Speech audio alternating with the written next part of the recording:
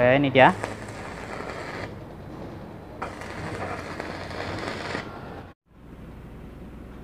Assalamualaikum warahmatullahi wabarakatuh. Kembali lagi di Aneka Elektronik. Kali ini servis mesin las ya atau mesin listrik. E, Di sini yaitu mereknya H dan L 160 e, Kerusakannya yaitu e, lampu OC nyala ya. Jadi uh, sebenarnya ini mesin udah pernah dibahas yaitu dengan lampu OC cuman beda kerusakan ya. Bila dihidupkan dia normal tapi begitu kawat telas ditempel dia langsung OC beda yang sama dinyalakan langsung OC ya. Nanti coba kita uh, bongkar kita ini ya apanya yang bermasalah. Jadi kita coba nyalakan ya uh, untuk mesinnya Nah ini uh, udah nyala, udah normal, kipas sudah muter. Terus untuk tegangan out di sini udah keluar di sini. Uh, tegangannya keluar segini ya. Sepertinya tinggi sekali, tapi uh, naik turun. Nah ini dia uh, tegangan udah keluar. Yang artinya berarti tegangan out udah udah ada. Tapi begitu ditempel dia langsung OC. Uh, beda dengan yang dinyalakan langsung OC itu biasanya ada yang bermasalah entah dari trafonya atau entah dari MOSFET-nya yang udah short. Jadi begitu di on dia langsung nyala. Tapi yang ini OC-nya beda ya. Jadi out udah keluar cuman bila ditempel seperti ini eh, lampu OC langsung nyala. Oke coba kita tes saja sambil diperhatikan untuk lampu OC di sini ya. Nanti coba kita tempel. Sambil diperhatikan ini posisi coba di tengah. Kita coba tes saja.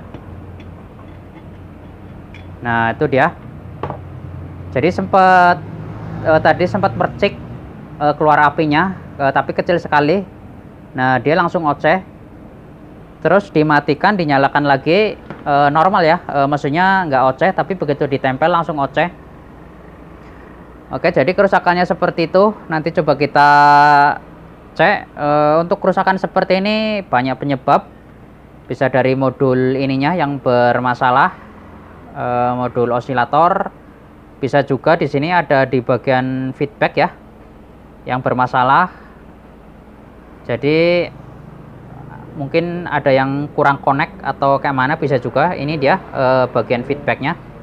Yang kabel dari e, ada air sound di situ terus ada resistor. Nah terus menuju ini ini tiga kabel terus menuju di situ.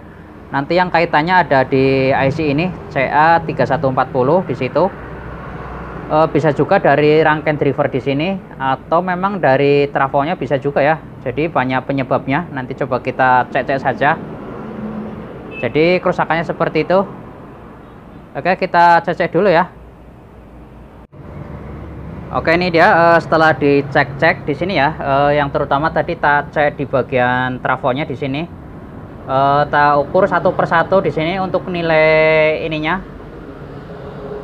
uh, trafonya di sini untuk ini masih normal ya, terukur masih 2, sekian uh, milihenry. Uh, ketiganya normal semua tadi udah tak cek. Nah, ini dia terukur segini yang salah satunya. Uh, sedangkan yang normalnya atau yang bawaannya biasanya itu dengan ukuran 2,25 mH. Uh, yang segini terukur segini masih layak ya, masih bisa dipakai. Kecuali mas uh, di bawah 1 ohm atau berapa biasanya udah udah error, udah uh, mendekati short ya.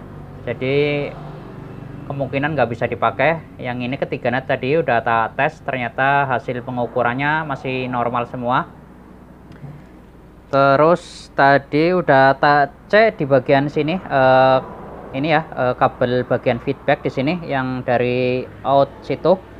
Di situ ada resistor kalau nggak salah 2K ini dia. Uh, yang kalau nggak salah itu satu watt. Di situ tadi tak cek normal terus untuk sambungan soket ini uh, ke sana normal juga ya. Karena penuh karena pernah nemuin juga uh, sambungan kurang connect antara soket ini sama ke bawah bisa juga ya pernah nemuin seperti itu ternyata soketnya yang bermasalah Oke, setelah dicek juga untuk di sini ada trafo sensor arus ya di sini. Nah, di sini tak cek-cek eh, setelah diperhatikan juga ternyata di sini bisa dilihat uh, di sini seperti ada uh, gosong di sini. Ini untuk kawat atau ini ya, kawat atau kabel yang menuju sensor arus di sini. Uh, maaf. Uh, di sini ada kawat terus menuju trafo sensor arus. Ini dia. Nah, di sini ada kosong. Ternyata di sini untuk solderannya ngepong seperti ini, bisa dilihat. Nah, ini dia. Kemungkinan ini yang menyebabkan uh, protek. Nah, ini dia. Nanti coba kita solder dulu, kita lepas, nanti solder ulang. Uh, Mudah-mudahan hanya itunya saja yang bermasalah ya, uh, ininya. Sedangkan yang lain tadi dicek uh, sepertinya masih normal, nggak ada masalah. Oke, kita bongkar dulu ya. Uh, jangan lupa yang belum subscribe monggo di subscribe dulu ya jangan lupa untuk loncengnya diaktifkan sekalian biar tidak ketinggalan video-video terbaru tentunya uh, tutorial atau cara servis ya tentunya tentang barang elektronik oke kita lepas dulu ya kita bongkar nanti kita solder ulang nah ini dia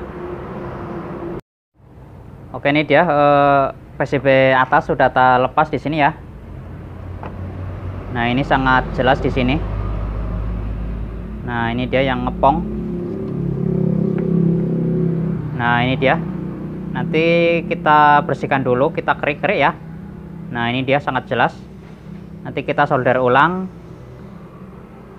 Nah, ini bekas kosongan yang eh, sebelumnya ya, eh, rusak sebelumnya di sini, eh, MOSFET pada short. Bekas kebakar juga. Yang jelas ini nanti kita solder ulang dulu. Oke ini dia udah tak solder di sini.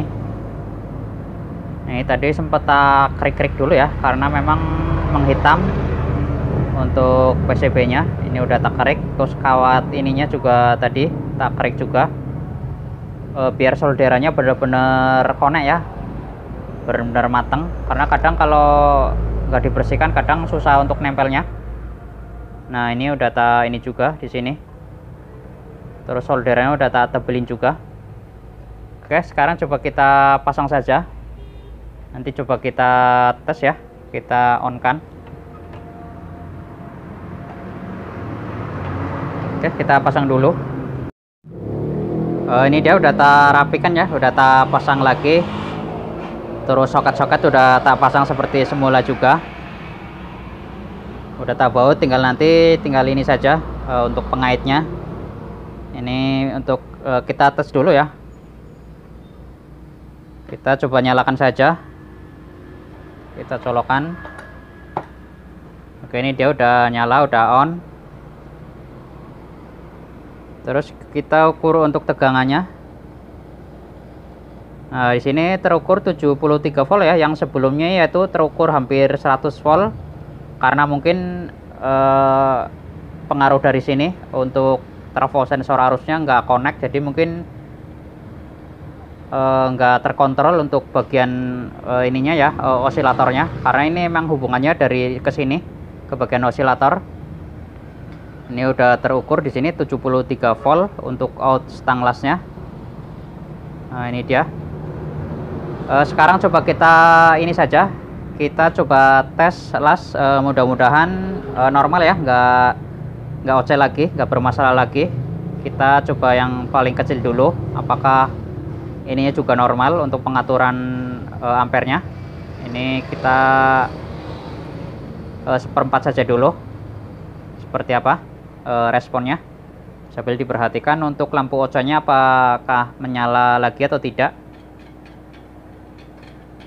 Oh sepertinya tidak ya.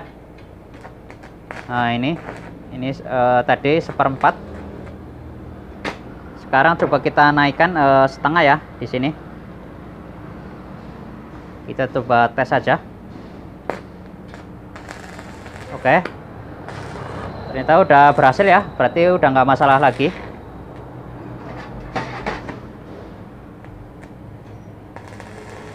oke ini dia.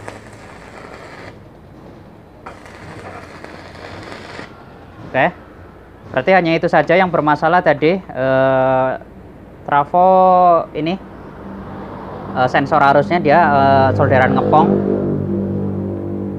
Itu saja yang bermasalah. Tapi untuk masalah yang tadi ini uh, proteknya uh, ketika kawat telas ditempel banyak kemungkinan ya. Jadi ini salah satu penyebabnya. Bisa juga dari tadi yang pertama saya jelaskan problem sama belum tentu penanganan sama ya. Jadi bisa saja berbeda.